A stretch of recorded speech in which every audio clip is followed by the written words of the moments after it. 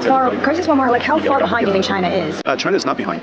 I, anybody, China is right behind us. I mean, we're very, very close. Uh, What's your message and conversation you'd like today with the president when it comes to tariffs? I'm going to count on the fact that, that uh, the administration uh, has a good plan.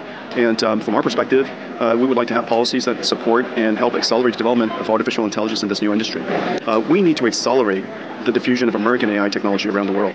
And so the policies and uh, the encouragement from the administration really needs to be behind that. What's your reaction to the Wall Street Journal saying Huawei is advancing to catch up to your highest level chips?